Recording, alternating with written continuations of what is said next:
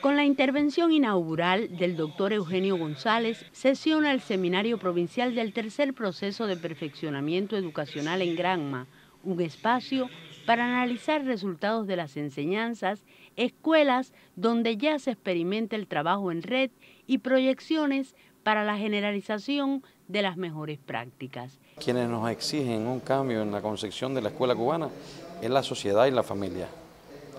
Por tanto, sobre los retos y las exigencias del siglo XXI es donde eh, la educación se perfecciona.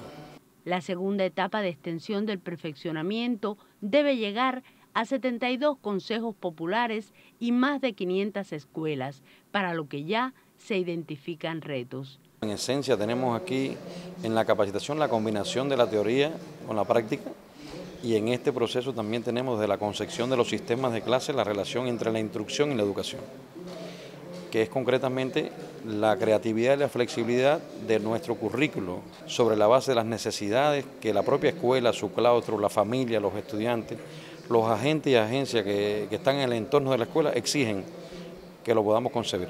Estas sesiones de construcción de saberes son garantía para generalizar en el 2020 el perfeccionamiento que se traducirá en servicios educacionales de más calidad.